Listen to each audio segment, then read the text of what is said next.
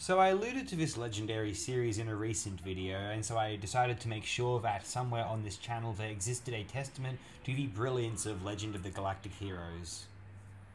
Actually, before I do that, I've never done this, but thank you for all the 419 people who haven't unsubscribed. I, I, that actually elates me. I never intended to really grow this channel. This is just kind of a vestige of what I saw as the lost blogtopia of uh, 10, 15 years ago or so, um, which is, I perceived a certain corner of the internet as, and the fact that there's, I mean, there's, yeah, thank you. I've never, I've never actually formally expressed my gratitude because it does, does make me feel quite warm to be, to be confessional here. Anyway, on to Legend of the Galactic Heroes. In order to find a way to feature it on acknowledging our discontent, film the day in, particular, I chose to discuss its 1988 debut film, My Conquest is the Sea of Stars. This hour long feature is a prequel to the monumental OVA series, Legend of the Galactic Heroes, which was released from 1988 to 1997. To those unaware, an OVA is an anime uh, film or an ongoing series, which was released via home video rather than broadcast television or in theatres. What a time that would have been, waiting to buy the next series of Legend of the Galactic Heroes, and on Laserdisc, I presume.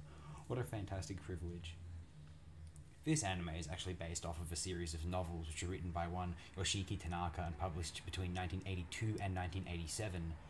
The series takes place in the distant future of 3596. Humanity has taken to the stars and founded many new intergalactic governmental bodies. Most prominently is the Prussian-esque Galactic Empire and the democratically inclined Free Planets Alliance, two entities engaged in a seemingly perpetual war with one another. The storyline of this series focuses in particular on two individual commanders within the two separate factions. From the Empire, Reinhard von Lohengramm, and from the Alliance, Yang Wenli. Their rivalry forms the core of this epic saga.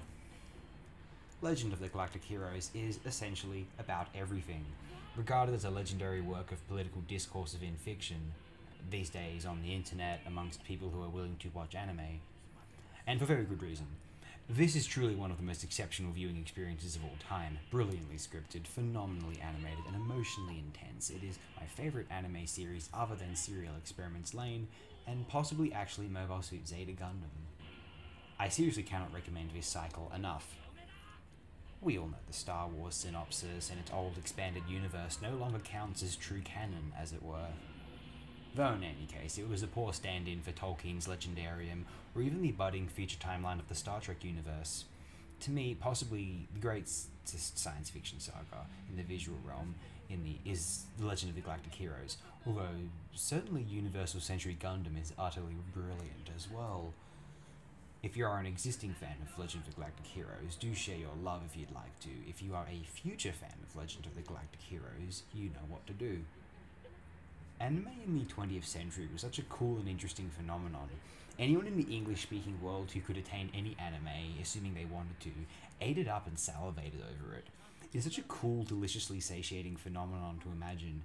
Seriously, uh, you're a Gundam fan in the English speaking world circa 1997 or so, one of the few. Receiving a copy of Gundam on Laserdisc would be mind blowing, truly like a gift from the future. More in this context, you'd be getting on a possibly a slightly poor VHS rip, I'm not sure. now it's everywhere and it's vaguely mundane. Not just anime, everything.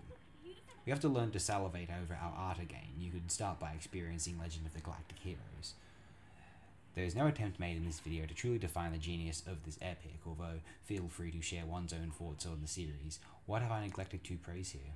Because there is plenty I've passed over. So I'd recommend by starting out with My Conquest is a Sea of Stars, fantastic little film, and then the truly phenomenal and brilliant Legend of the Galactic Heroes, which goes for 110 episodes, so set some time aside, but I think it will be well worth it. Thank you all, have a great one,